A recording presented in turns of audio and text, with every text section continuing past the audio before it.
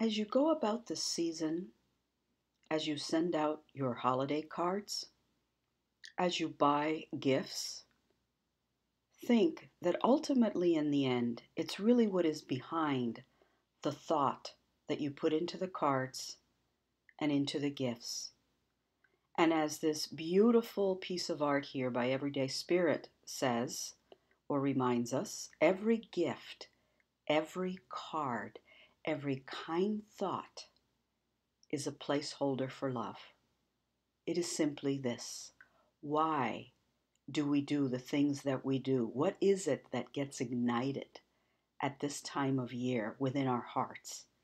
It is simply love, whether you celebrate Christmas or Hanukkah or Kwanzaa or any of a number of festivals and celebrations that remind us of light. Do all the things that you do with love.